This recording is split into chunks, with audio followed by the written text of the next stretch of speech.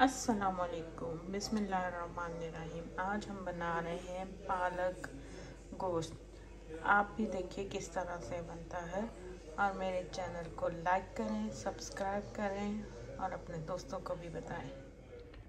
पालक गोश्त, इसके लिए मैंने प्रेशर कुकर में डाल लिया है तीन टमाटर, सात आठ मिर्चें वन टेबल स्पून सॉल्ट भी डाल दिया है साथ ही में, और दो कटी हुई ये प्याज भी डाल दी है।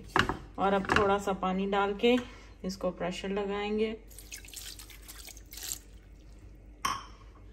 अब हमने पालक रख दी है। इस तरह से पालक बड़े पतीले में मैंने रख दी है। पानी कुछ भी नहीं डाला, ये अपने पानी से ही मेल्ट होगी फिर इसके बाद हम थोड़ा सा इसे ग्राइंड करेंगे। ज़्यादा नहीं, चटनी की तरह ग्राइंड नहीं करेंगे, बस थोड़ा सा ग्राइंड करेंगे।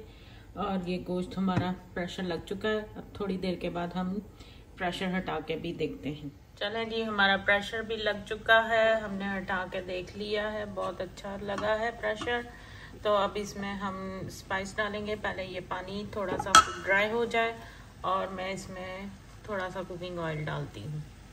कुकिंग ऑयल मैंने डाल दिया है। आधा कप डाला है मैंने और ये भर के एक चम्मच जो है, इसकी लाल मिर्च की, ये। बस और कोई स्पाइस नहीं डालनी मैंने।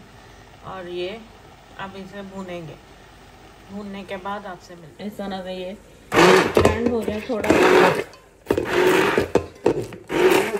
फिर ड्राई कर देना।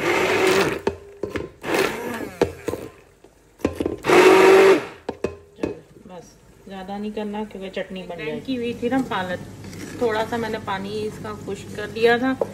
तो अब ये इसमें हम डाल देंगे गोश्त में।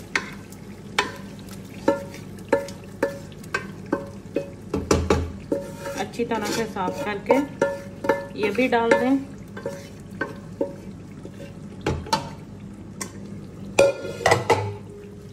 और ये हमारे पास है बटर थोड़ा सा। थोड़ा सा। ये डाल दें। मैंने आग बंद कर दी है। थोड़ी देर के लिए मैं आँच जलाऊँगी, क्योंकि सालन थोड़ा सा गोश्त का लग रहा था। इसलिए आँच मैंने बंद की थी। अब ये इसमें अच्छी तरह से मिक्स हो जाए। अगर आपको इसमें नमक मिर्च कम लगे तो वो अपने हिसाब से डाल लीजिएगा वैसे तो मैंने सही डाली है मिर्चें और नमक भी। और कुछ नहीं, इसमें जाएगा। अल्लाह करे आप सबको ये बहुत पसंद आए। इसके साथ मुझे दीजिए इजाज़त। अल्लाह हाफिज़।